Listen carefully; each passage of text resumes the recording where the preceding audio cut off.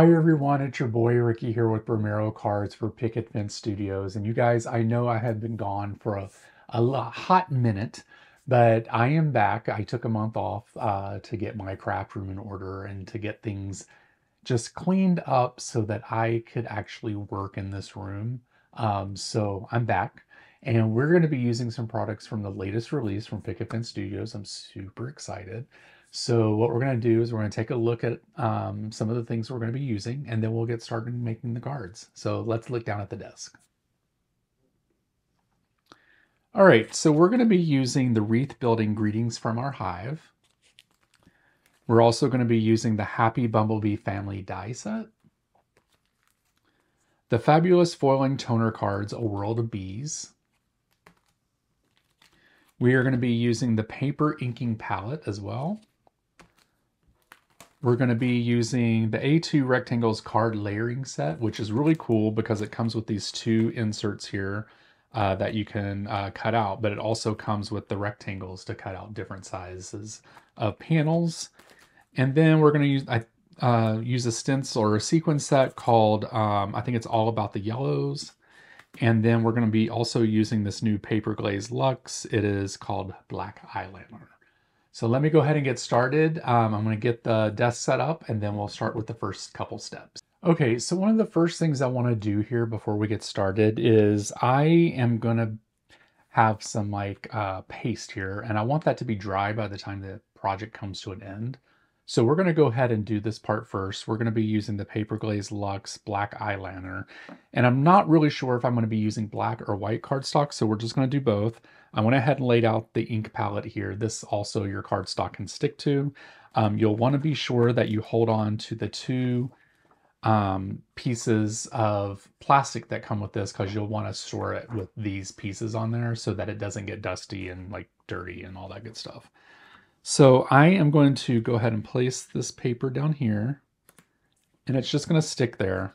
And I'm just going to kind of, I don't know, play around with this to see um, just to get it onto the paper. I'm not going to like smooth it out. It's kind of going to be like this multi uh, media situation. So I'm just going to stir this up here and then I'm just going to take a little bit and then kind of just do this kind of rough thing here. Doesn't have to be neat or cool because I'm not sure I'm going to be doing with it yet. But I do want to take this off And I just want to scrape the side off here to get that off. And I'm just going to set this to the side. Um, I'm really not for sure if I'm going to be using that or not. So we, we will see. Then I'm going to take the white piece and we're just going to do the same thing because I'm not for sure which one I'll end up being end up using. So we're just going to take that on there, kind of like do this spread thing. And it's not going to look super neat. That's fine but we're going to see what this looks like. All right, so we're going to let take this off. We're going to set this to dry. And then I'll be right back. I'm to go clean the palette knife off and all that great stuff, and I'll be back with the next step. Okay, so now what we're to do is we're to do some foiling here. We're to be using the Honey Yellow uh, foiling um, toner foil here. And we're also to be using um, the Fabulous Foiling Toner cards. I just want to show you the patterns that, that are here. We have uh, these bees here and two of each one. So there's some going this way and then this way. We have like this dizzy beehive and then this kind of honeycomb honeycombs, and then these honeycombs as well. There we go. I think I'm going to use this today. So we'll go ahead and get all this put away. And foiling using uh, the laminator is super easy, you guys, with these cards. It's just, you pretty much just cut your paper, you put it on the, uh, the card, and then you just kind of just let it go through. So we're just going to cut a piece here.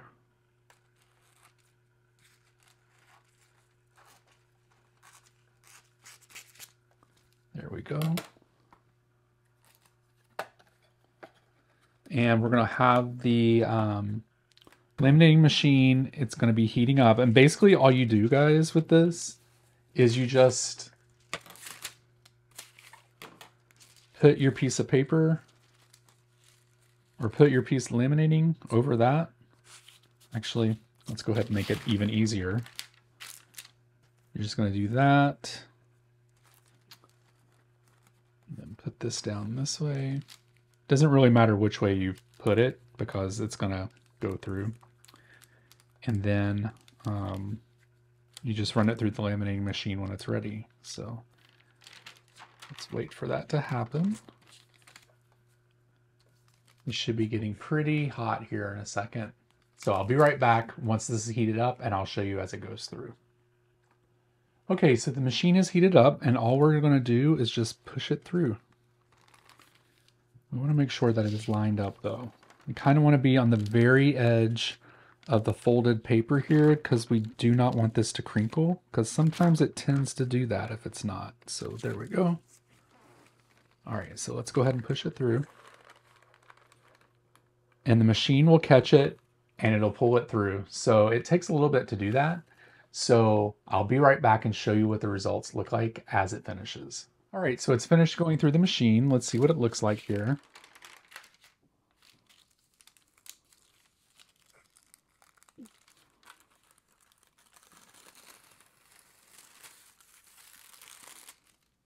Wow, looks pretty good. Nice. We're going to be doing die cutting from this, so um, it's going to look pretty cool. And if I wanted to, I could get a black piece of um, toner sheet and actually use this whole piece also, but I'm not going to do that in this video, but I may hold on to it and save it for a future video. So let me go ahead and get cleaned up and then we'll start for the next step. Okay, so now that we have this uh, foiling done, I want to hold that up again so you guys can see it. it looks really cool here. Um, we are going to take, and I'm not for sure what this is going to look like because I have not pre-made this card, but what I thought I would do is just take these bees here, these bee dies, and we are going to get these cut out of this foiling paper here. And we're just going to see what this looks like. Um, you know, we may use it, we may not use it. We are going to see. I think I want to, hmm, yeah, I guess I'll just use just one half of this. So I have all these on here. I'm going to run these through a die cutting machine really quick and I'll be right back to show you what these look like. All right, so I got these run through the die cutting machine. Let's take them out. That's the um, official, unofficial way of disengaging dies. and so let's see here. All right, so that looks cool. I like the way that looks. Uh, let's see what the others look like here. The other ones are pretty small. Let me see if I can get a tool here so that we can get these poked out. Let's see, set of tweezers.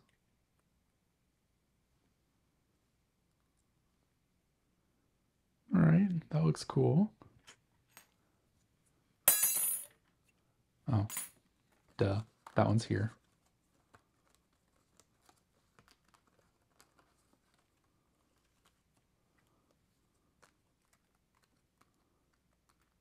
You could also paper piece this with maybe black, like replace place it with black inside. But what I want to do is see what this looks like against the black um, background that I already made. So there we go. Those are all the little baby, little bitty baby bees, the family of bees. Okay, everyone. So what I wanted to do is um, I needed to show you a mistake um, that I made. Not, I don't know if it's really a mistake, but I, it was an unexpected um, outcome. So what I was trying to do is use these um, uh, dies here to cut out the rectangle of the pieces that I made for um, uh, with the paste, right? So when I went to go do that, it flattened out the paste. And that wasn't the look I was going for. I'm still going to use this, but so that didn't work out so well. And now what I'm going to do is because this doesn't really have texture to I mean, it has texture, but it's not raised like it like I wanted it to be. I'm just gonna take a um, a heart die that I have in my stash, and I'm just gonna cut this out there. But I did also want to show you the white. And so this is kind of what I was going for. Let me hold it up and see if it'll, see how it has like the ridges and it just looks like there's texture and there's like little, you know, it's like raised. It looks really cool. That's what I was kind of going for there. Um, so this one I was able to save. I just trimmed in the trimmer and then I just put it some, I put some foam tape on the back of that and we're going to be using this. So what I'm going to do is I'm going to run this through the die cutting machine and then I'll be right back for the next step. Okay, so we're going to go ahead and start putting this card together. We're going to do some finishing touches and then um, I do have this second card that I'm to also make, but I'm not to complete that in this video, but um, you can check out the our or my Instagram, Bromero Cards, and check out the second card over there. So here we go. All right. So I want to put this here like in the center. And then what I want to do is use a sentiment from the wreath building greetings from our hive. And I want to use the sentiment My Little Honey. It's super cute.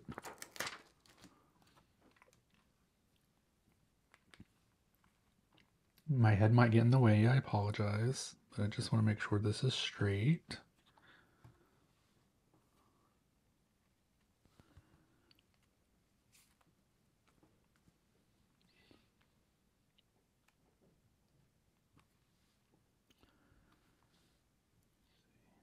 Limmer up.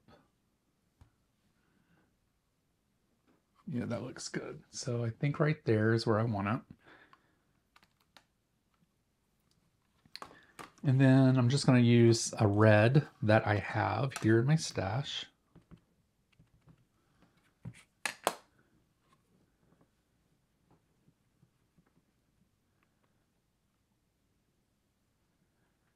And let's just stamp it twice just to make sure.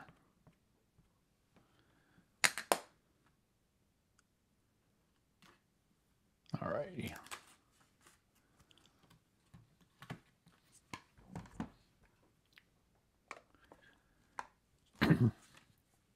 All right, so then what I want to do is put some foam tape on the back of this heart.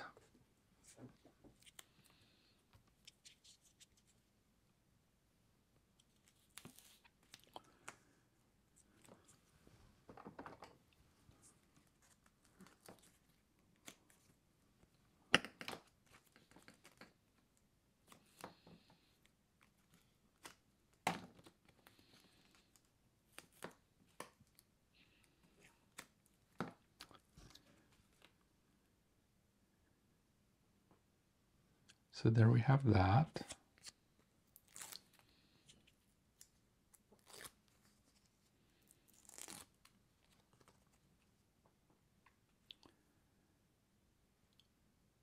That looks good. Let me just make sure. Yeah, that looks great. And then what I want to do is I'm just going to put this little lady right here. And this little baby like right here. And I'm just going to use my um, my Sweet Petunias um, Precision Glue Press to do that. I want to try to put, you know, kind of get this good and glued because this is going on a textured surface. So we want to make sure it sticks to it. So we're just going to add plenty of glue here.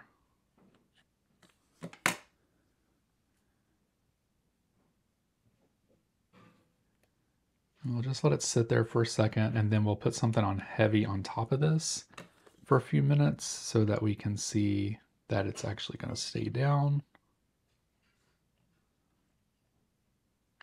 We're going to stick this little guy here. All right, so I'm going to stick my MISTI on top of this. I'm going to let it sit for a few minutes and then I'll be right back. Okay, you guys, so I lied. I'm going to go ahead and make this card uh, for us today and um, go ahead and just include it here. So basically I already have all my pieces that are needed to go to make this card. I also forgot to tell you guys that off camera, I did actually cut off three or cut three more layers of this bee and then layered it all together so that it was a little bit thicker. So basically now to finish off this card, I'm just going to take off the backings of the pieces of foam tape here. And then we're going to place that onto the black cardstock.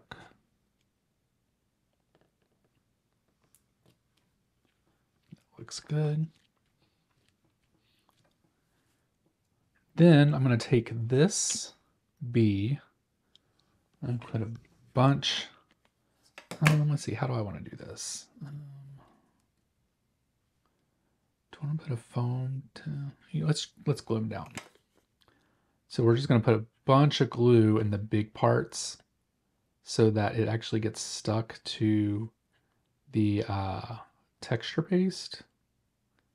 And then we'll put as much glue as we can along the thinner parts just so that we make sure everything gets stuck there.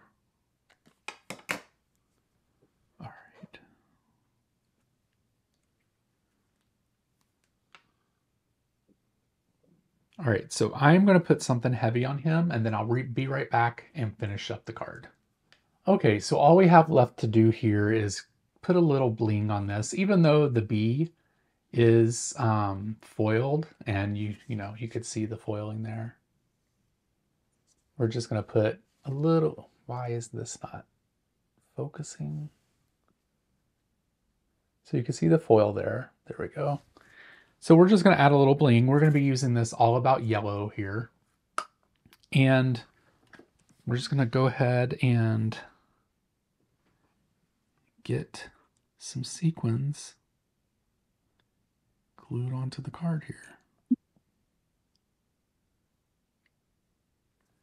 All right, and I'm not going to put a um, a sentiment on this, so this is pretty much done. This is the completed card. Looks really cool. The paste has like a holographic green and gold inside of it. It looks really neat. Actually, it looks kind of rainbow. So we have that one. And then here is the finished of the one I did earlier. And what I love about it is you can't, you couldn't tell down on the desk, but there's actually a little red heart. And I assume that's like the mom bee, but I think that's so adorable and I love it. And this heart has sparkle on it. It's just not raised like this guy, but I think those look really cool. Hopefully this will come into, let's see if they, there we go. Um, I think they look really neat. They're fun. Um, I just really think they are like super and kind of simple. There's a lot of white space. I just love it. So anyway, I want to thank you guys so much for watching this video. I truly appreciate it. Make sure you click the links down below to take you over to the Picket Fence Studios store so that you can see all the products that I use today. And yeah, make sure that you go check them out over on Instagram and Facebook and all the other social medias. And you can find me also by searching for Bromero Cards on Instagram and Facebook as well, and over here on YouTube. So until next time, friends, I hope you have a great day and I'll talk to you soon. Bye.